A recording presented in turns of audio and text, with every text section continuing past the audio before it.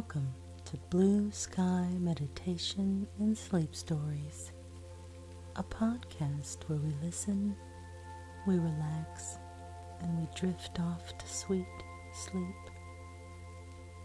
Good evening, everyone. My name is Rin. Thank you for spending time with me tonight, and thank you so much for subscribing to our channel. Let's begin by lying down and getting cozy in bed. Take a deep breath in through the nose. Hold for a moment. And exhale fully out through the mouth. Take another deep breath in. Hold the breath. And exhale fully, mentally letting go of anything that is no longer serving you. Last one. Breathe in, hold for a moment, and then exhale completely. Allow your breathing to return to its natural rhythm and just start to observe the natural rise and fall of the body as you inhale and exhale.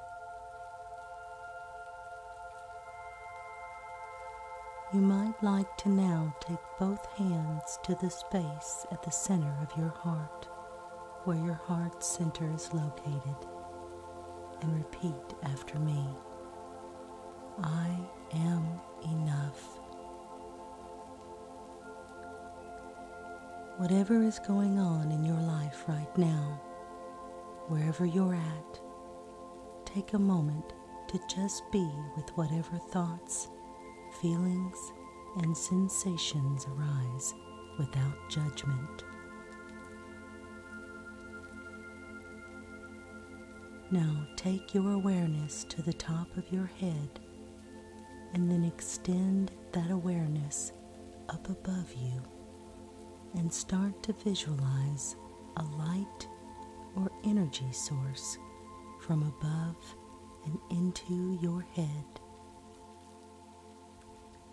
Visualize the light coming into your head, your neck, and shoulders. Allow the light to come down into both arms, hands, and your whole torso.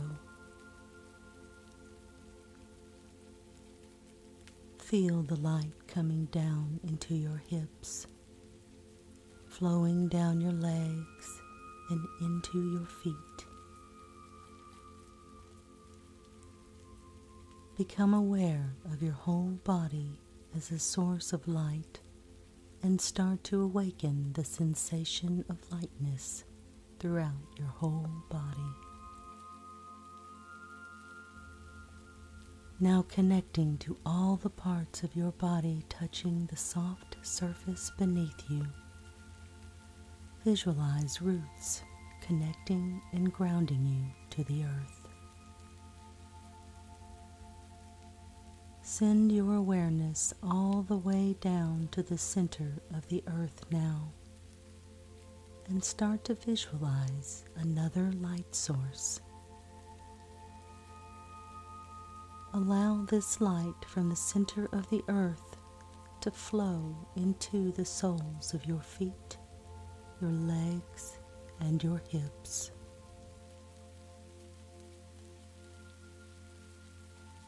Allow this grounding light to flow into your torso, your hands and arms. Let this light now flow into your shoulders, your neck, and your whole head.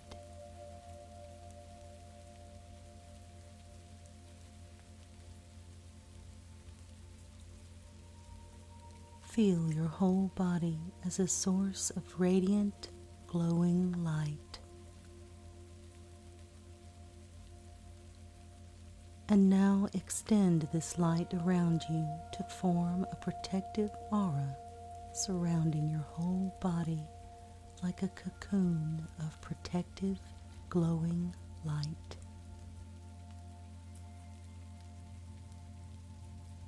If there is anything right now that is not serving you, visualize whatever it is leaving your body as a gray smoke. Allow the protective aura of light surrounding to transform this gray energy back into brilliant, glowing light. See everything as being in a constant state of flow and change. Now allow yourself to lay in your cocoon of light without judging yourself. Allow yourself to just be with whatever arises. Repeat after me I am enough. Become aware again of the natural rise and fall of your body as you inhale and exhale. Feel your whole physical body in the space it's in from the top of your head down to the soles of your feet.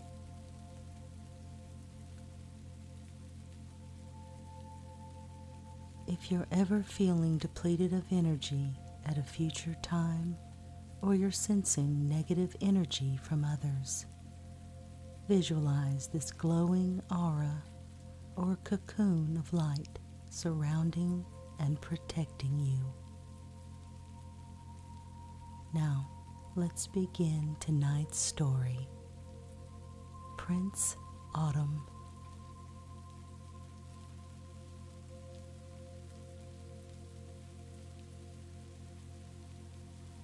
On the top of the hills in the west stood the Prince of Autumn and surveyed the land with his serious eyes. His hair and beard were dashed with gray, and there were wrinkles on his forehead, but he was good to look at, still and straight and strong. His splendid cloak gleamed red and green and brown and yellow, and flapped in the wind. In his hand he held a horn he smiled sadly and stood a while and listened to the fighting and the singing and the cries. Then he raised his head, put the horn to his mouth, and blew a lusty flourish. Summer goes his all prospering way. Autumn's horn is calling. Heather dresses the brown hill clay. Winds whip crackling across the bay. Leaves in the grove keep falling. All the trees of the forest shook from root to top, themselves not knowing why. All the birds fell silent together. The stag in the glade raised his antlers in surprise and listened. The poppy's scarlet petals flew before the wind. But high on the mountain, on the bare hills and low down in the bog, the heather burst forth and blazed purple and glorious in the sun and the bees flew from the faded flowers of the meadow and hid themselves in the heather fields. But Autumn put his horn to his mouth again and blew. Autumn lords it with banners bright of garish leaves held over him, quelling summer's eternal fight, heralding winter wild and white, while the blithe little birds flee before him. The Prince of Summer stopped where he stood in the valley and raised his eyes to the hills in the west, and the Prince of Autumn took the horn from his mouth and bowed low before him. Welcome, said Summer. He took a step towards him and no more, as befits one who is the greater, but the Prince of Autumn came down over the hills and again bowed low. They walked through the valley hand in hand and so radiant was summer that, wherever they passed, none was aware of Autumn's presence. The notes of his own horn died away in the air, and one and all recovered from the shudder that had passed over them. The trees and birds and flowers came to themselves again and whispered and sang and fought. The river flowed, the rushes murmured, the bees continued their summer orgy in the heather. But wherever the princes stopped on their progress through the valley, it came about that the foliage turned yellow on the side where autumn was. A little leaf fell from its stalk and fluttered away and dropped at his feet. The nightingale ceased singing, though it was eventide. The cuckoo was silent and flapped restlessly through the woods. The stork stretched himself in his nest and looked toward the south. But the princes took no heed. Welcome, said Summer again. Do you remember your promise? I remember, answered Autumn. Then the Prince of Summer stopped and looked out over the kingdom where the noise was gradually subsiding. Do you hear them? he asked. Now do you take them into your gentle keeping. I shall bring your produce home, said Autumn. I shall watch carefully over them that dream. I shall cover up lovingly them that are to sleep in the mold. I will warn them thrice of winter's coming. It is well, said Summer. They walked in silence for a time while night came forth. The honeysuckle's petals fell when you blew your horn, said Summer. Some of my children will die at the moment when I leave the valley, but the nightingale and the cuckoo and the stork I shall take with me. Again the two princes walked in silence. It was quite still, only the owls hooted in the old oak. You must send my birds after me, said Summer. I shall not forget, replied Autumn. Then the Prince of Summer raised his hand in farewell and bade Autumn take possession of the kingdom. I shall go tonight, he said, and none will know save you. My splendor will linger in the valley for a while, and by the by, when I am far away and my reign is forgotten, the memory of me will revive once more with the sun and the pleasant days. Then he strode away in the night, but from the high tree top came the stork on his long wings, and the cuckoo fluttered out of the tall woods, and the nightingale flew from the thicket with her full grown young. The air was filled with the soft murmurings of wings. Autumn's dominion had indeed begun on the night when summer went away, with a yellow leaf here and a brown leaf there, but none had noticed it. Now it went at a quicker pace, and as time wore on, there came even more colors and greater splendor. The lime trees turned bright yellow, and the beech bronze, and the elder tree even blacker than it had been. The bellflower rang with white bells where it used to ring with blue, and the chestnut tree blessed all the world with its five yellow fingers. The mountain ash shed its leaves that all might admire its pretty berries. The wild rose nodded with a hundred hips the Virginia creeper broke over the hedge in blazing flames. Then Autumn put his horn to his mouth and blew. The loveliest things of Autumn's pack in its motley coffers lay red mountain berries, hips sweet as cherries, sloes blue and black, he hung upon every spray. And blackbird and thrush chattered blithely in the copsewood which gleamed with berries, and a thousand sparrows kept them company. The wind ran from one to the other and puffed and panted to add to the fun. High up in the sky, the sun looked gently down upon it all. And the Prince of Autumn nodded contently and let his motley cloak flap in the wind. I am the least important of the four seasons, and am scarcely lord in my own land, he said. I serve two jealous masters and have to please them both. But my power extends so far that I can give you a few glad days. Then he put his horn to his mouth and blew. To the valley revelers hie, they are clad in autumnal fancy dresses. They are weary of green and faded tresses.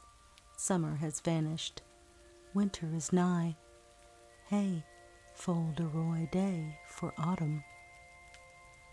But the night after this happened, there was tremendous disturbance up on the mountain peaks, where the eternal snows had lain both in springtime and summers.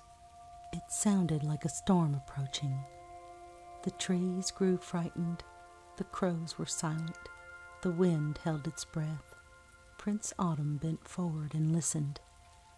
Is that the worst you can do? shouted a hoarse voice through the darkness. Autumn raised his head and looked straight into Winter's great, cold eyes. Have you forgotten the bargain? asked Winter. No, replied Autumn, I have not forgotten it. Have a care, shouted Winter. The whole night through it rumbled and tumbled in the mountains. It turned so bitterly cold that the starling thought seriously of packing up, and even the red creeper turned pale. The distant peaks glittered with new snow, and the Prince of Autumn laughed no more. He looked out earnestly over the land, and the wrinkles in his forehead grew deeper. It must be so then, he said. Then he blew his horn. Autumn's horn blew a lusty chime, for the second time, for the second time. Heed well the call, complying fling seed to earth, fill sacks full girth, plump back and side, pad belt and hide, hold all wings close for flying. Then suddenly a terrible bustle arose in the land, for now they all understood. Quick, said Autumn. The poppy and the bellflower and the pink stood thin and dry as sticks with their heads full of seed. The dandelion had presented each one of his seeds with a sweet little parachute. Come, dear wind, and shake us, said the poppy. Fly away, my seeds, wind, said the dandelion. And the wind hastened to do as they asked. But the beech cunningly dropped his shaggy fruit onto the hare's fur, and the fox got one also on his red coat. Quick now, said Autumn, there's no time here to waste. The little brown mice filled their parlors from floor to ceiling with nuts and beech mast and acorns. The hedgehog had already eaten himself so fat that he could hardly lower his quills. The hare and the fox and stag put on clean white woolen things under their coats. The starling and the thrush and the blackbird saw to their downy clothing and exercised their wings for the long journey. The sun hid himself behind the clouds and did not appear for many days. It began to rain. The wind quickened its pace. It dashed the rain over the meadow, whipped the river into foam, and whistled through the trunks in the forest. Now the song is finished, said the Prince of Autumn. Then he put his horn to his mouth and blew. Autumn's horn blew a lusty chime for the last time, for the last time. Ways close when need is sorest, land birds fly clear, plunge frogs in mere. Bee, lock your lair, take shelter, bear, fall last leaf in the forest. And then it was over. The birds flew from the land in flocks, the starling and the lapwing, the thrush and the blackbird all migrated to the south. Every morning before the sun rose, the wind tore through the forest and pulled the last leaves off the trees. Every day the wind blew stronger, snapped great branches, swept the withered leaves together into heaps, scattered them again, and at last laid them like a soft, thick carpet over the whole floor of the forest. The hedgehog crawled so far into a hole under a heap of stones that he remained caught between two of them and could move neither forwards nor backwards. The sparrow took lodgings in a deserted swallow's nest. The frogs went to the bottom of the pond for good, settled in the mud, with the tips of their noses up in the water and prepared for whatever might come. The Prince of Autumn stood and gazed over the land to see if it was bare and waste, so that winter's storms might come buffeting at will and the snow lie wherever it pleased. Then he stopped before the old oak and looked at the ivy that clambered right up to the top and spread her green leaves as if winter had no existence at all. And while he looked at it, the ivy flowers blossomed. They sat right at the top and rocked in the wind. Now I'm coming, roared winter from the mountains. My clouds are bursting with snow, and my storms are breaking loose. I can restrain them no longer. The Prince of Autumn bent his head and listened. He could hear the storm come rushing down over the mountains.